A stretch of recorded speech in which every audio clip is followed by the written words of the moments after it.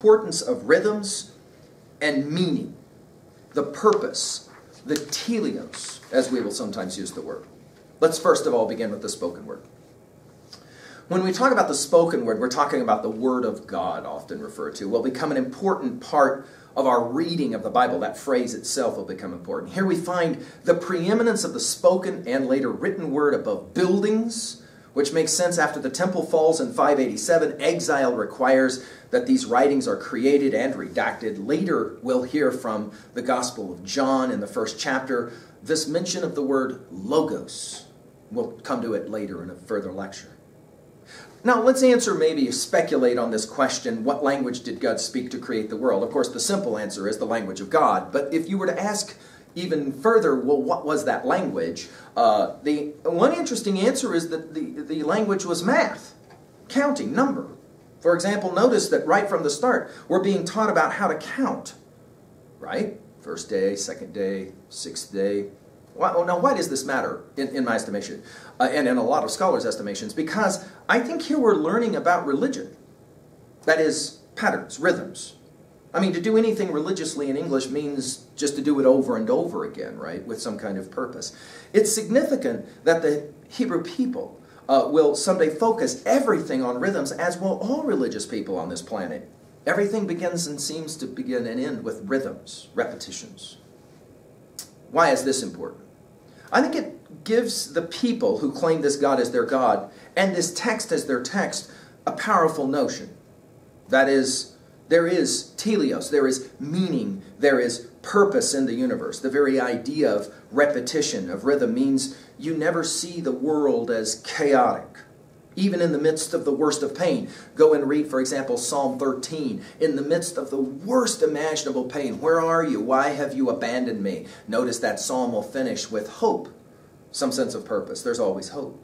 This will be one of the greatest gifts, in my estimation, uh, to the world um, uh, of, uh, of the West, especially. We're, we're going to adopt this idea and we're going to see it permeate so much of what goes on without even realizing it. Notice how often the word good gets used seven times. That is to say, life is good, and the argument that life is good, an optimistic or a positive view of existence. In the second creation account, we have another focus, I think. The creation of humans seems to be more central. Obviously, you can ask the question which was created first, animals or humans? It's not an argument we're going to get into. Note the almost comic story of why animals are created to find Adam a pal, basically, a partner. Notice as well how trees and rivers and gardens are central motifs in this account. The idea of Eden as paradise is first introduced here. The ideal will remain a part of many stories. Of course, you're thinking as well of El Dorado. In the afterlife, the idea of heaven is actually in many ways born here. You can run this idea down on your own. Uh, Ezekiel 28, 13 through 16, Ezekiel 31, 8 through 9, Isaiah 51, 3, Joel 2, 3, to just take a look at the different ways this will already become influential later in your reading. The idea that trees are important, some have pointed out possibly feminine powers of fertility already in play here. Notice the tree of life in 322, again mentioned in Proverbs 3:18, Revelation 22:2, Revelation 22:14 as well as 19. Um, and we have, of course, the tree of the knowledge of good and evil symbolizing wisdom. 2 Samuel 14, 17, uh, 1 Kings 3, 9 will mention this. And obviously, we're going to have a lot to say about this in our next lecture of uh, Genesis 3. There are some sacred trees as well. Genesis 12, 6 through 8, the oak of Moreh. At times, uh, some may be think related to an oracle giver. Genesis 13, 18, 8, Genesis 18, 1, Genesis 35, 4, as well as Deuteronomy 11, 30, Joshua 24, 26, Judges 9, 37. And of course, remember later, Christ, we are told, will die on a tree. Note the Hebrew words for Adam, meaning humanity, for Eve, meaning life. These Two become symbols for the world. When we meet them again later in chapter 3, we'll have more to say about this one. Note that if you create woman out of a man, like Zeus giving birth to Athena out of his forehead, then you pay attention to where she came from, right? Note that the man's head or foot, not where she comes from, but rather his side. Is there some suggestion here already that men should see women as somehow their equal? Hmm. Note the first poems of the Bible. 127, 223. Can you see any similarities between the two first poems of the Bible? Note the language of 216.17. It does read kind of like legal prohibition, death penalty language. You can reference here Leviticus 29 as well as 2011 and 12 for examples of this type of thing. As for the Sabbath and the importance of rest, you can run this one down with Exodus 20:11 and elsewhere. Some scholars have suggested that the creation of woman is here in this text is one of the only ones from the ancient Near Eastern literature. That's an interesting observation. You can do your own research to see if that's true or not. And what about chapter 2, verse 24? Is there seem to be some kind of divine intention for monogamy here? That already is an interesting question. And what do we want to say about these creation accounts? They seem to address major concerns about what it means to talk about existence. They raise topics that we'll see treated again later in the text. They place humans, notice, as central to the story of the world. Let's jump to level 2b really quickly. Notice in 127 you have the first poetry of an Old Testament where about, scholars say, 40% of the Old Testament is in fact poetry. Note the poetry as well in chapter 2, a song for a woman. Uh, this, uh, this account will celebrate women right from the start. But does it always celebrate women? This will obviously be one of the questions that we will address as we study. At level 3a, we can ask about here relational ideas as we finish this lecture. What comes to mind here? American philosopher Ken Wilber's classic, Sex, Ecology, Spirituality, uh, um, begins actually with him pointing out uh, that there are two answers to the question, why is there something instead of nothing? Notice either you wish to find an answer to this question, or you pretend like there is no real question here at all, what he calls the philosophy of oops. Whether you accept this creation account or not, let's point out, we find an attempt here to answer the question. Or do we? Does this text really tell us why there is something instead of nothing? Or not?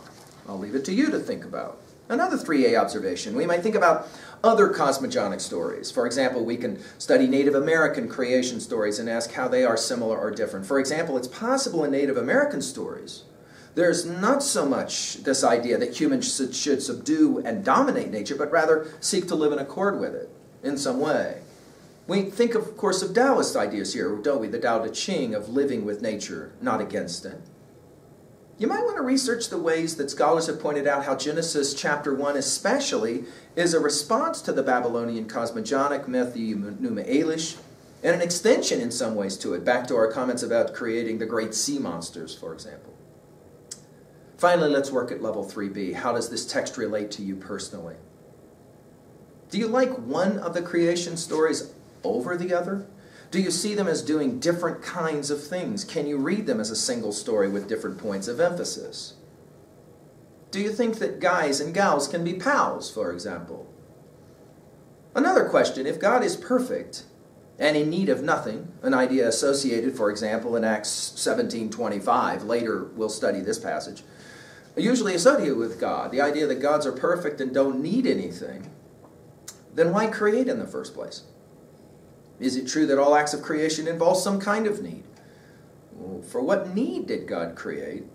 For example, was God lonely? None of this is provided for us in this text, and yet we can speculate. This text seems to suggest that the world, when it was created, was a good world. Do you think of the world as good? As very good? Or was it once very good and then it stopped being good? We'll obviously have to have this discussion when we meet chapter 3 in a bit. Do you think there's anything important about seeing the world as good or bad? There seems to be two views here, by the way. One says that the world was once an Eden and then it became ruined in some way, fallen, broken, and our quest is to somehow get back to this state of nature that Rousseau will talk about and other thinkers as we, as we move down the line. Or the other view is a more evolutionary view, and it says the world starts somehow, either creation or Big Bang or whatever, and then is improving or getting better, and it is the job of humans to try to improve the world in some way, sometimes referred to as the up from Eden model. Finally, notice the last verses of chapter 2. One of the great questions, the, what we'll call the William Blake question, the, Ameri- the, the English romantic poet, um, the question of innocence versus experience when we study Blake, Songs of Innocence, Songs of Experience. In the next chapter, we'll tell the story that will outline this kind of dynamic tension. Question Which is better, to be innocent and ignorant, or experienced and have knowledge? I like to point out the ways in which a simple reading of this text can raise so many dynamic questions. And as we begin to then read in other texts in Western thought and literature, we'll begin to make these connections, I hope.